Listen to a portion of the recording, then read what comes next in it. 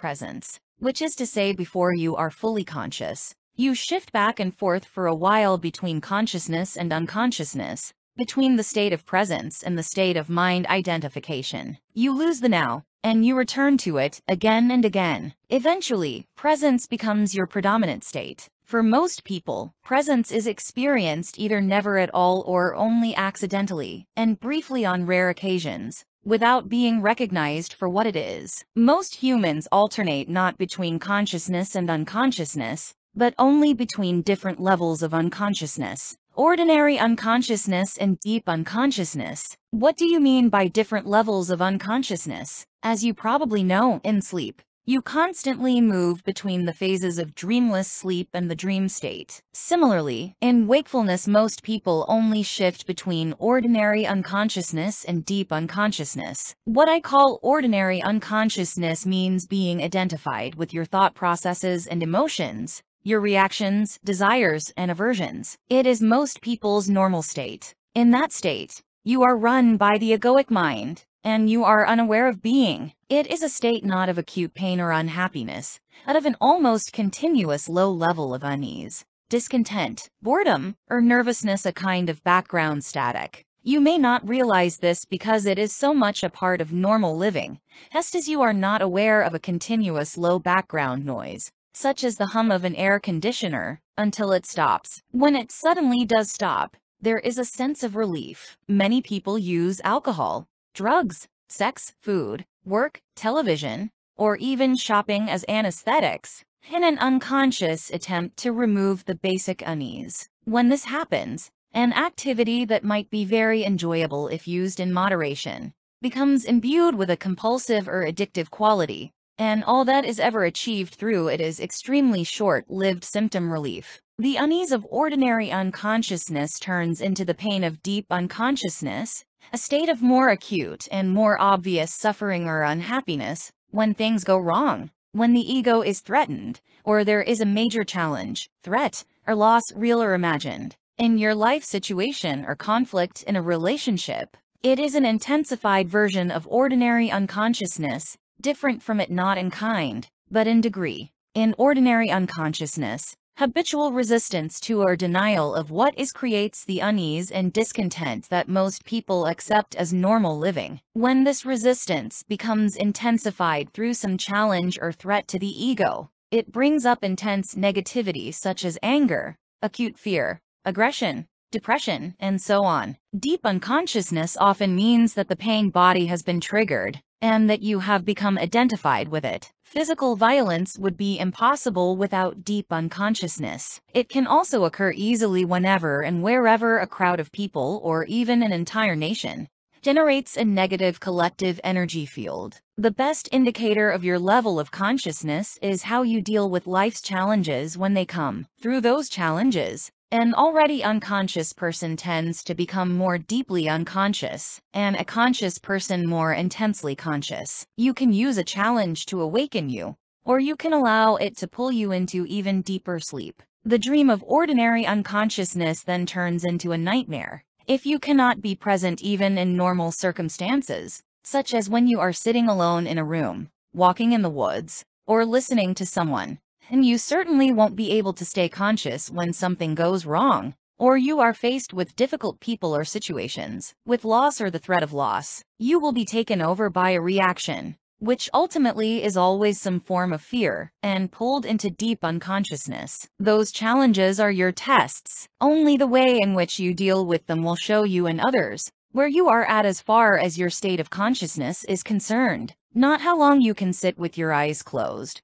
or what visions you see. So it is essential to bring more consciousness into your life in ordinary situations, when everything is going relatively smoothly. In this way, you grow in presence power. It generates an energy field in you and around you of a high vibrational frequency. No unconsciousness, no negativity, no discord or violence can enter that field and survive, just as darkness cannot survive in the presence of light. When you learn to be the witness of your thoughts and emotions, which is an essential part of being present, you may be surprised when you first become aware of the background static of ordinary unconsciousness, and realize how rarely, If ever you are truly at ease within yourself on the level of your thinking, you will find a great deal of resistance in the form of judgment, discontent, and mental projection away from the now. On the emotional level, there will be an undercurrent of unease, tension, boredom, or nervousness. Both are aspects of the mind in its habitual resistance mode. What are they seeking? Carl Jung tells in one of his books of a conversation he had with a Native American chief,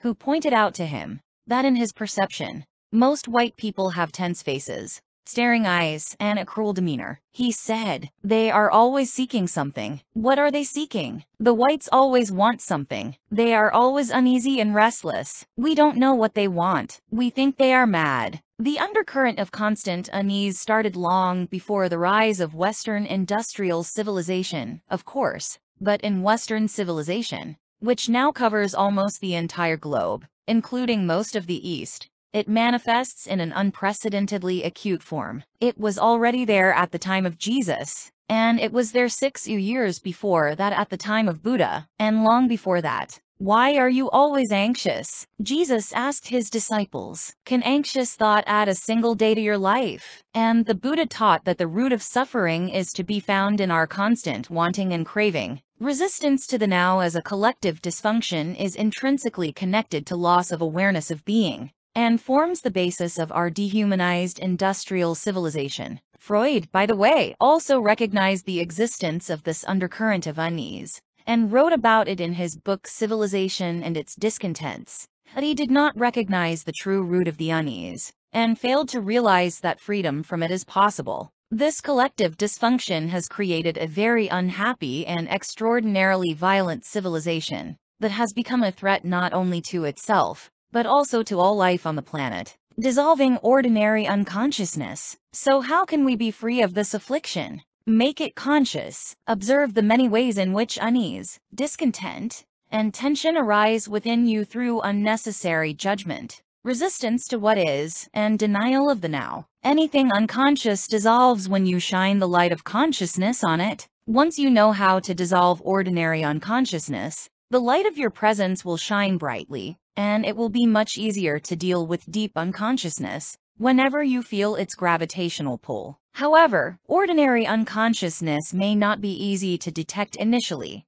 because it is so normal. Make it a habit to monitor your mental emotional state through self-observation. Am I at ease at this moment? Is a good question to ask yourself frequently. Or you can ask, what's going on inside me at this moment? Be at least as interested in what goes on inside you as what happens outside. If you get the inside right, the outside will fall into place. Primary reality is within, secondary reality without. But don't answer these questions immediately. Direct your attention inward. Have a look inside yourself. What kind of thoughts is your mind producing? What do you feel? Direct your attention into the body. Is there any tension?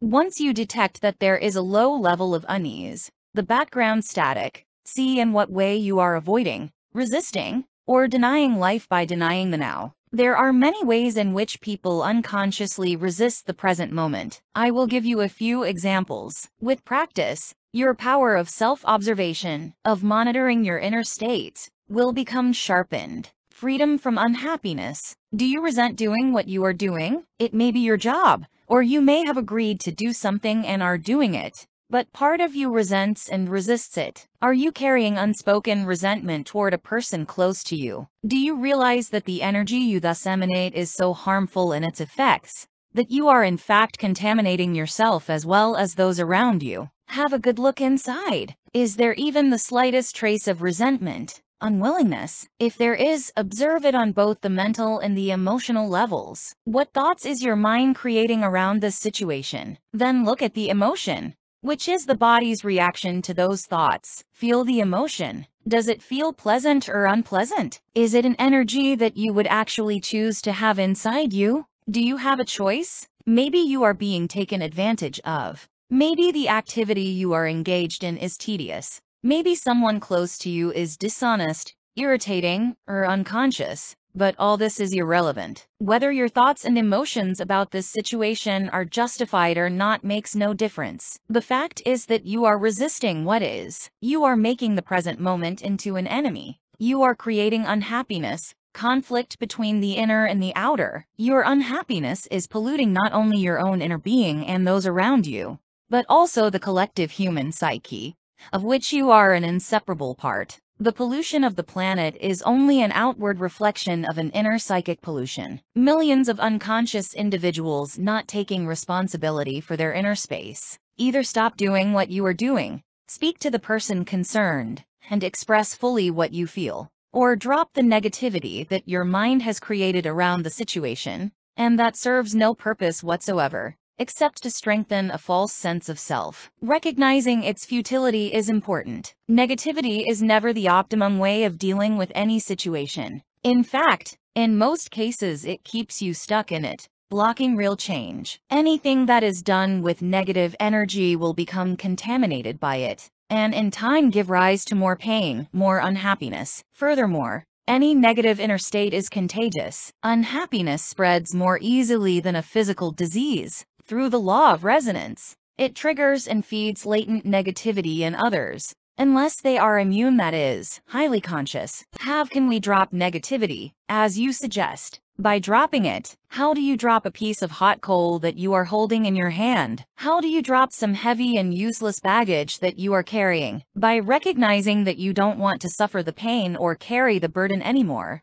and then letting go of it. Deep unconsciousness, such as the pain body, or other deep pain, such as the loss of a loved one, usually needs to be transmuted through acceptance. Combined with the light of your presence, your sustained attention, many patterns in ordinary unconsciousness, on the other hand, can simply be dropped once you know that you don't want them and don't need them anymore. Once you realize that you have a choice, that you are not just a bundle of conditioned reflexes. All this implies that you are able to access the power of now. Without it, you have no choice. If you call some emotions negative, aren't you creating a mental polarity of good and bad, as you explained earlier? No. The polarity was created at an earlier stage when your mind judged the present moment as bad. This judgment then created the negative emotion. But if you call some emotions negative, Aren't you really saying that they shouldn't be there? That it's not okay to have those emotions?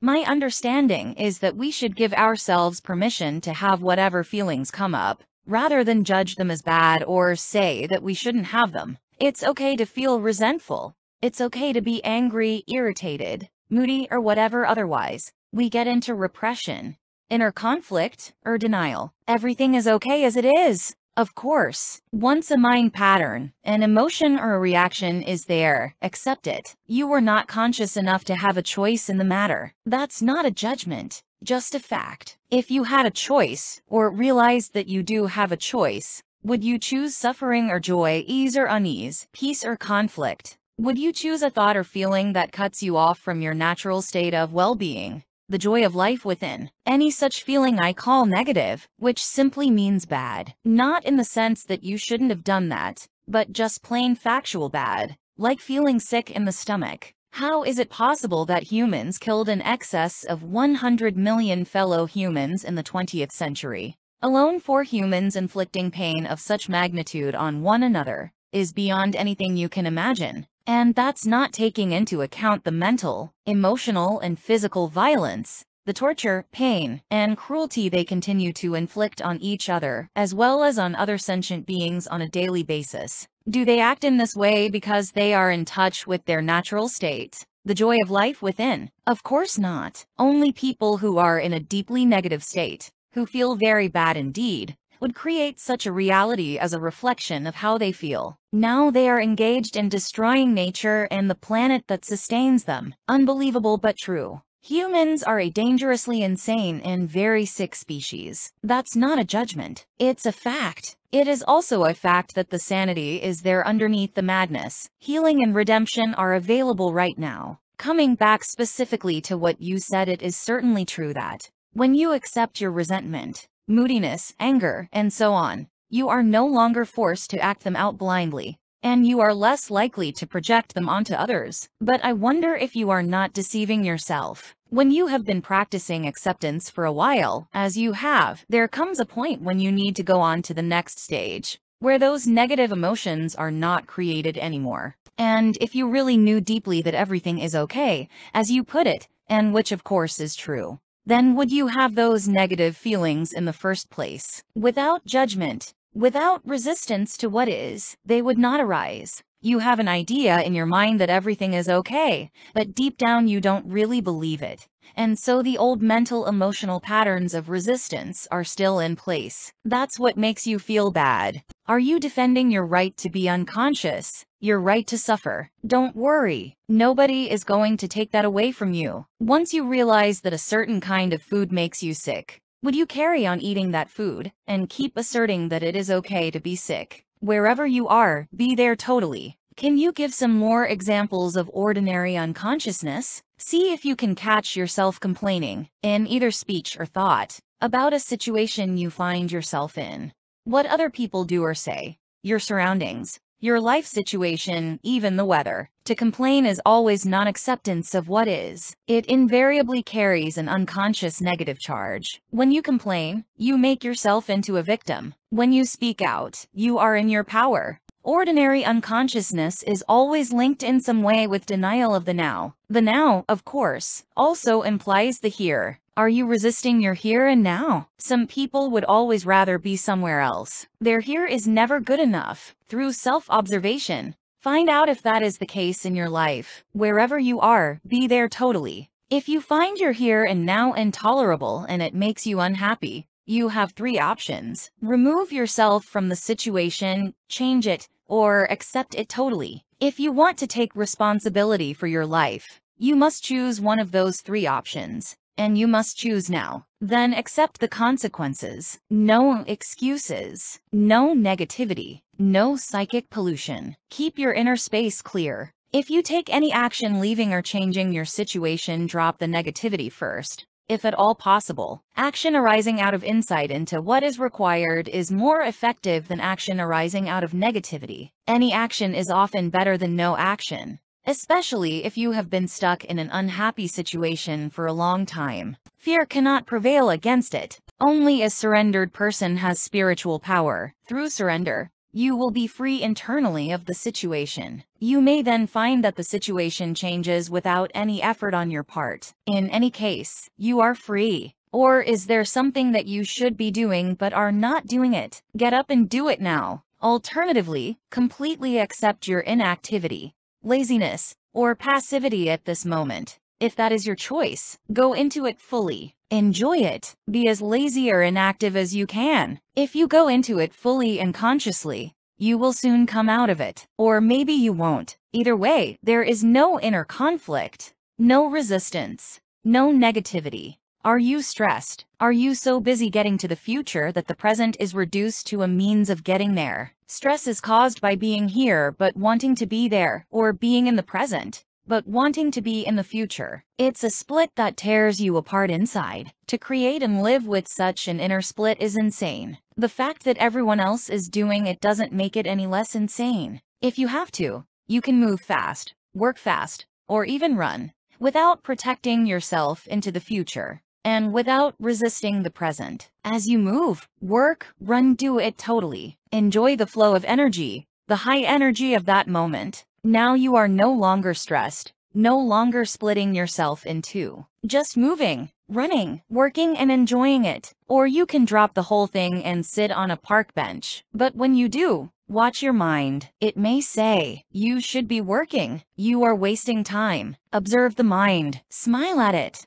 Does the past take up a great deal of your attention? Do you frequently talk and think about it, either positively or negatively? The great things that you have achieved, your adventures or experiences, or your victim story and the dreadful things that were done to you, or maybe what you did to someone else. Are your thought processes creating guilt, pride, resentment, anger, regret, or self-pity? Then you are not only reinforcing a false sense of self, but also helping to accelerate your body's aging process by creating an accumulation of past in your psyche. Verify this for yourself by observing those around you who have a strong tendency to hold on to the past. Die to the past every moment. You don't need it. Only refer to it when it is absolutely relevant to the present. Feel the power of this moment and the fullness of being. Feel your presence. Are you worried? Do you have many what-if thoughts? You are identified with your mind which is projecting itself into an imaginary future situation and creating fear. There is no way that you can cope with such a situation,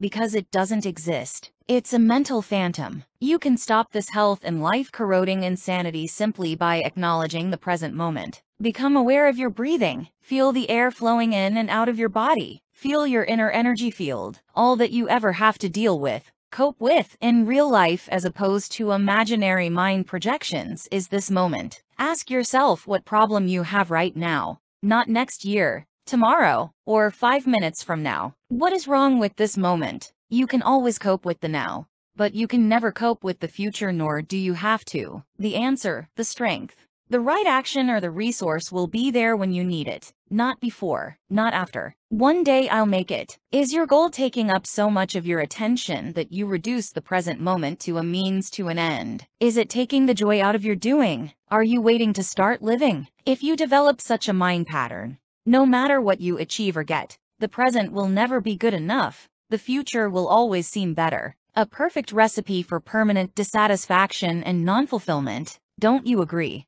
Are you a habitual waiter? How much of your life do you spend waiting? What I call small-scale waiting is waiting in line at the post office, in a traffic jam, at the airport, or waiting for someone to arrive to finish work, and so on. Large-scale waiting is waiting for the next vacation, for a better job, for the children to grow up, for a truly meaningful relationship, for success, to make money, to be important, to become enlightened. It is not uncommon for people to spend their whole life waiting to start living. Waiting is a state of mind. Basically, it means that you want the future. You don't want the present. You don't want what you've got, and you want what you haven't got. With every kind of waiting, you unconsciously create inner conflict between your here and now, where you don't want to be, and the projected future, where you want to be. This greatly reduces the quality of your life by making you lose the present. There is nothing wrong with striving to improve your life situation. You can improve your life situation, but you cannot improve your life. Life is primary. Life is your deepest inner being. It is already whole complete, perfect. Your life situation consists of your circumstances and your experiences. There is nothing wrong with setting goals and striving to achieve things. The mistake lies in using it as a substitute for the feeling of life, for being. The only point of access for that is the now. You are then like an architect who pays no attention to the foundation of a building, but spends a lot of time working on the superstructure. For example, many people are waiting for prosperity. It cannot come in the future when you honor, acknowledge, and fully accept your present reality where you are, who you are, what you are doing right now when you fully accept what you have got. You are grateful for what you have got, grateful for what is, grateful for being. If you are dissatisfied with what you have got, or even frustrated or angry about your present lack, that may motivate you to become rich. But even if you do make millions, you will continue to experience the inner condition of lack, and deep down you will continue to feel unfulfilled. You may have many exciting experiences that money can buy, but they will come and go and always leave you with an empty feeling and the need for further physical or psychological gratification. You won't abide in being and so feel the fullness of life now that alone is true prosperity. So give up waiting as a state of mind. When you catch yourself slipping into waiting, snap out of it. Come into the present moment. Just be and enjoy being. If you are present, there is never any need for you to wait for anything. So next time somebody says, sorry to have kept you waiting, you can reply, that's all right. I wasn't waiting. I was just standing here enjoying myself enjoy and myself. These are just a few of the habitual mind strategies for denying the present moment that are part of ordinary unconsciousness. They are easy to overlook because they are so much a part of normal living, the background static of perpetual discontent. But the more you practice monitoring your inner mental emotional state, the easier it will be to know when you have been trapped in past or future, which is to say unconscious and to awaken out of the dream of time into the present. But beware, the false, unhappy self, based on mind identification, lives on time. It knows that the present moment is its own death, and so feels very threatened by it. It will do all it can to take you out of it. It will try to keep you trapped in time. The inner purpose of your life's journey. I can see the truth of what you are saying. But I still think that we must have purpose on our life's journey. Otherwise, we just drift. And purpose means future, doesn't it? How do we reconcile that with living in the present? When you are on a journey, it is certainly helpful to know where you are going, or at least the general direction in which you are moving. But don't forget, the only thing that is ultimately real about your journey is the step that you are taking at this moment. That's all there ever is. Your life's journey has an outer purpose and an inner purpose. The outer purpose is to arrive at your goal or destination, to accomplish what you set out to do to achieve this or that, which, of course, implies future. It has nothing to do with future but everything to do with the quality of your consciousness at this moment. The outer purpose belongs to the horizontal dimension of space and time. The inner purpose concerns a deepening of your being in the vertical dimension of the timeless now. Your outer journey may contain a million steps. Your inner journey only has one. The step you are taking right now. As you become more deeply aware of this one step, you realize that it already contains within itself all the other steps as well as the destination. This one step then becomes transformed into an expression of perfection, an act of great beauty and quality. It will have taken you into being, and the light of being will shine through it. This is both the purpose and the fulfillment of your inner journey, the journey into yourself. Does it matter whether we achieve our outer purpose, whether we succeed or fail in the world, or the other way around? which is actually more common, outer riches and inner poverty, or to gain the world and lose your soul, as Jesus puts it. Ultimately, of course, every outer purpose is doomed to fail sooner or later, simply because it is subject to the law of impermanence of all things. The sooner you realize that your outer purpose cannot give you lasting fulfillment, the better. The past cannot survive in your presence. You mentioned that thinking or talking about the past unnecessarily is one of the ways in which we avoid the present. But apart from the past that we remember and perhaps identify with, isn't there another level of past within us that is much more deep-seated? I am talking about the unconscious past that conditions our lives, especially through early childhood experiences perhaps even past life experiences. And then there is our cultural conditioning, which has to do with where we live geographically and the historical time period in which we live. All these things determine how we see the world, how we react, what we think, what kind of relationships we have, how we live our lives. How could we ever become conscious of all that or get rid of it? Mo long would that raise? And even if we did, what would there be left? You may think that you need more time to understand the past or become free of it. In other words, that the future will eventually free you of the past. This is a delusion. Only the present can free you of the past. More time cannot free you of time. Access the power of now. That is the key. What is the power of now? None other than the power of your presence. Your consciousness liberated from thought forms. So deal with the past on the level of the present. The more attention you give to the past, the more you energize it, and the more likely you are to make a self out of it. Don't misunderstand. Attention is essential, but not to the past as past. Give attention to the present. Give attention to your behavior, to your reactions, moods, thoughts, emotions, fears, and desires as they occur in the present. There's the past in you. If you can be present enough to watch all those things, not critically or analytically but non-judgmentally, then you are dealing with the past and dissolving it through the power of your presence. Isn't it helpful to understand the past, and so understand why we do certain things, react in certain ways, or why we unconsciously create our particular kind of drama, patterns and relationships, and so on? As you become more conscious of your present reality, you may suddenly get certain insights as to why your conditioning functions in those particular ways. For example, why your relationships follow certain patterns, and you may remember things that happened in the past or see them more clearly. That is fine and can be helpful, but it is not essential. What is essential is your conscious presence. That dissolves the past. That is the transformative agent. So don't seek to understand the past, but be as present as you can. The past cannot survive in your presence. It can only survive in your absence. Chapter 5. The State of Presence. It's not what you think it is. You keep talking about the state of presence as the key. I think I understand it intellectually, but I don't know if I have ever truly experienced it. I wonder is it what I think it is, Or is it something entirely different? It's not what you think it is you can't think about presence, and the mind can't understand it. Understanding presence is being present.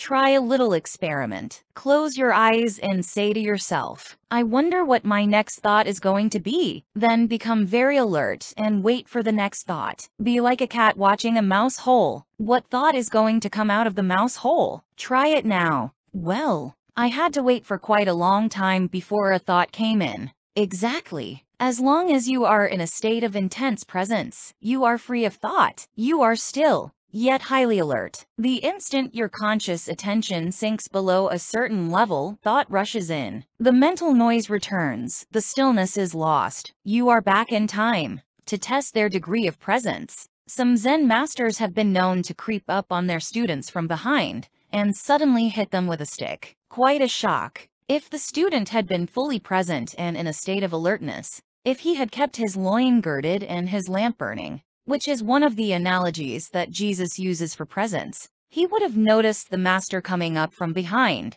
and stopped him or stepped aside. But if he were hit, that would mean he was immersed in thought, which is to say absent, unconscious. To stay present in everyday life, it helps to be deeply rooted within yourself. Otherwise, the mind, which has incredible momentum, will drag you along like a wild river. What do you mean by rooted within yourself? It means to inhabit your body fully, to always have some of your attention in the inner energy field of your body, to feel the body from within, so to speak. Body awareness keeps you present. It anchors you in the now. See Chapter 6. The esoteric meaning of waiting. In a sense, the state of presence could be compared to waiting. Jesus used the analogy of waiting in some of his parables. This is not the usual bored or restless kind of waiting that is a denial of the present and that I spoke about already. It is not a waiting in which your attention is focused on some point in the future, and the present is perceived as an undesirable obstacle that prevents you from having what you want. There is a qualitatively different kind of waiting,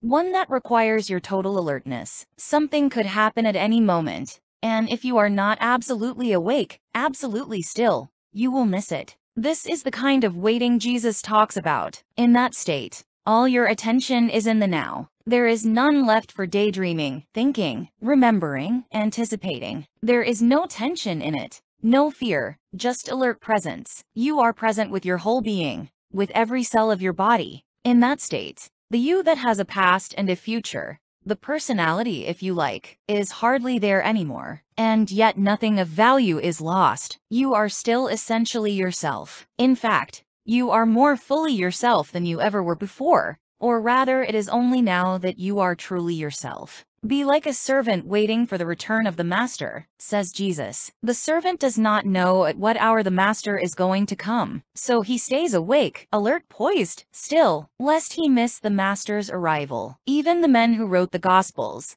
did not understand the meaning of these parables. So the first misinterpretations and distortions crept in as they were written down, with subsequent erroneous interpretations. The real meaning was completely lost. These are parables not about the end of the world, but about the end of psychological time. They point to the transcendence of the egoic mind, and the possibility of living in an entirely new state of consciousness. Beauty arises in the stillness of your presence. What you have just described is something that I occasionally experience for brief moments when I am alone and surrounded by nature. Yes, Zen masters use the word satori to describe a flash of insight, a moment of no mind and total presence. Although satori is not a lasting transformation, be grateful when it comes, for it gives you a taste of enlightenment. You may, indeed, have experienced it many times without knowing what it is and realizing its importance. Presence is needed to become aware of the beauty, the majesty, the sacredness of nature. Have you ever gazed up into the infinity of space on a clear night? Awestruck by the absolute stillness and inconceivable vastness of it, have you listened, truly listened, to the sound of a mountain stream in the forest, or to the song of a blackbird at dusk on a quiet summer evening. Beyond the beauty of the external forms, there is more here, something that cannot be named, something ineffable, some deep, inner, holy essence. Whenever and wherever there is beauty, This inner essence shines through somehow. It only reveals itself to you when you are present. Could it be that this nameless essence and your presence are one and the same? Would it be there without your presence? Go deeply into it. Find out for yourself. When you experienced those moments of presence, you likely didn't realize that you were briefly in a state of no mind. This is because the gap between that state and the influx of thought was too narrow. Your Satori may only have lasted for a few seconds before the mind came in,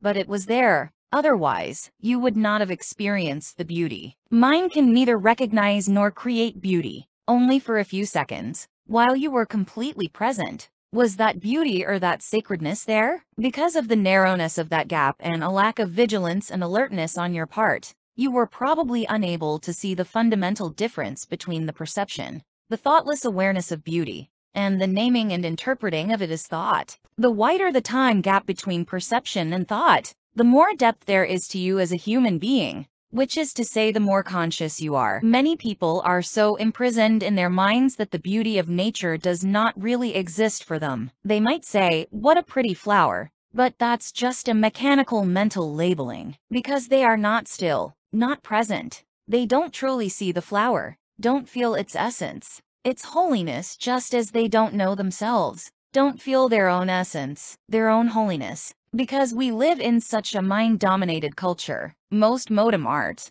architecture, music, and literature are devoid of beauty, of inner essence, with very few exceptions. The reason is that the people who create those things cannot even for a moment free themselves from their mind, so they are never in touch with that place within where true creativity and beauty arise. The mind left to itself creates monstrosities, and not only in art galleries. Look at our urban landscapes and industrial wastelands. No civilization has ever produced so much ugliness. Realizing pure consciousness is presence he same as being. When you become conscious of being, what is really happening is that being becomes conscious of itself. When being becomes conscious of itself, that's presence. Since being, consciousness, and life are synonymous, we could say that presence means consciousness becoming conscious of itself, or life attaining self-consciousness. But don't get attached to the words, and don't make an effort to understand this. There is nothing that you need to understand before you can become present. I do understand what you just said,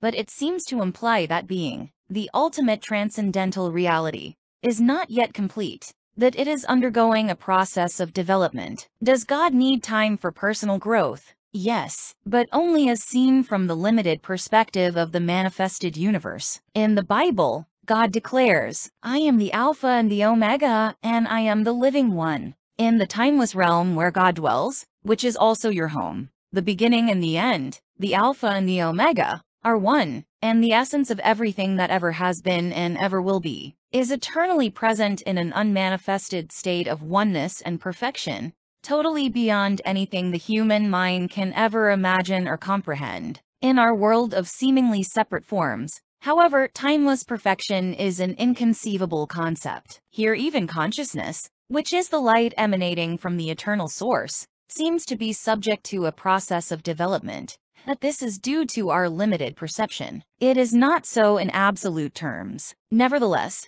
let me continue to speak for a moment about the evolution of consciousness in this world. Everything that exists has being, has got essence, has some degree of consciousness. Even a stone has rudimentary consciousness. Otherwise, it would not be, and its atoms and molecules would disperse. Everything is alive. The sun, the earth, plants, animals, humans all are expressions of consciousness in varying degrees, consciousness manifesting as form. The world arises when consciousness takes on shapes and forms, thought forms and material forms. Look at the millions of life forms on this planet alone, in the sea, on land, in the air and then each life form is replicated millions of times. To what end? Is someone or something playing a game? A game with form. This is what the ancient seers of India asked themselves. They saw the world as Lila, a kind of divine game that God is playing. The individual life forms are obviously not very important in this game. In the sea, most life forms don't survive for more than a few minutes after being born. The human form turns to dust pretty quickly too, and when it is gone,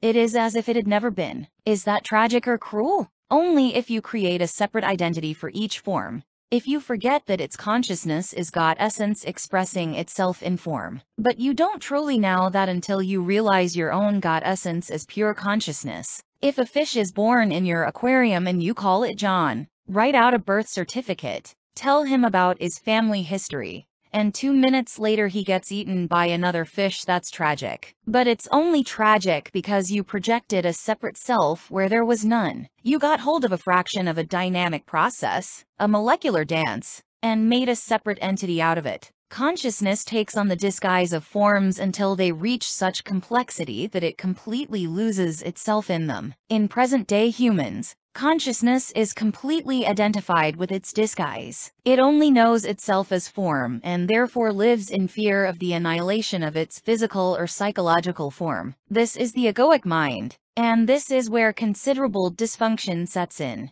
It now looks as if something had gone very wrong somewhere along the line of evolution. But even this is part of Lila, the divine game. Finally, the pressure of suffering created by this apparent dysfunction forces consciousness to disidentify from form, and awakens it from its dream of form. It regains self-consciousness, but it is at a far deeper level than when it lost it. This process is explained by Jesus in his parable of the lost son, who leaves his father's home, squanders his wealth, becomes destitute, and is then forced by his suffering to return home. When he does, his father loves him more than before. The son's state is the same as it was before, yet not the same. It has an added dimension of depth. The parable describes a journey from unconscious perfection through apparent imperfection and evil to conscious perfection. Can you now see the deeper and wider significance of becoming present as the watcher of your mind? Whenever you watch the mind, you withdraw consciousness from mind forms, which then becomes what we call the watcher or the witness. Consequently, the watcher pure consciousness beyond form becomes stronger, and the mental formations become weaker. When we talk about watching the mind we are personalizing an event that is truly of cosmic significance. Through you, consciousness is awakening out of its dream of identification with form, and withdrawing from form. This foreshadows, but is already part of, an event that is probably still in the distant future. As far as chronological time is concerned, the event is called the end of the world, when consciousness frees itself from its identification with physical and mental forms. It becomes what we may call pure or enlightened consciousness, or presence. This has already happened in a few individuals, and it seems destined to happen soon on a much larger scale. Although there is no absolute guarantee that it will happen, most humans are still in the grip of the egoic mode of consciousness, identified with their mind and run by their mind. If they do not free themselves from their mind in time,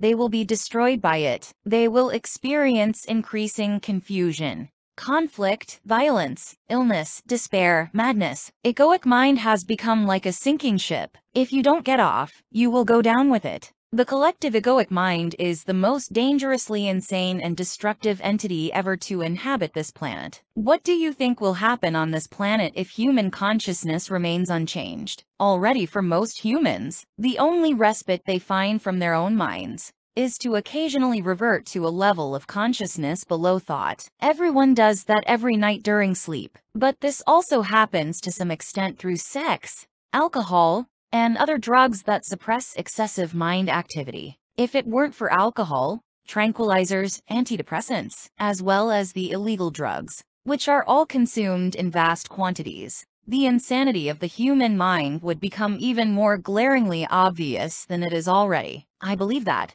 if deprived of their drugs, a large part of the population would become a danger to themselves and others. These drugs, of course, simply keep you stuck in dysfunction, their widespread use only delays the breakdown of the old mind structures and the emergence of higher consciousness. While individual users may get some relief from the daily torture inflicted on them by their minds, they are prevented from generating enough conscious presence to rise above thought and so find true liberation, falling back to a level of consciousness below mind, which is the pre-thinking level of our distant ancestors and of animals and plants is not an option for us. There is no way back. If the human race is to survive, it will have to go on to the next stage. Consciousness is evolving throughout the universe in billions of forms, so even if we didn't make it, This wouldn't matter on a cosmic scale. No gain in consciousness is ever lost, so it would simply express itself through some other form. But the very fact that I am speaking here and you are listening or reading this is a clear sign that the new consciousness is gaining a foothold on the planet. There is nothing personal in this. I am not teaching you. You are consciousness,